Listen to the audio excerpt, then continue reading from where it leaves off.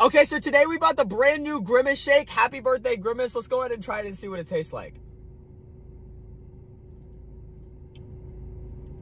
It kind of has like a weird...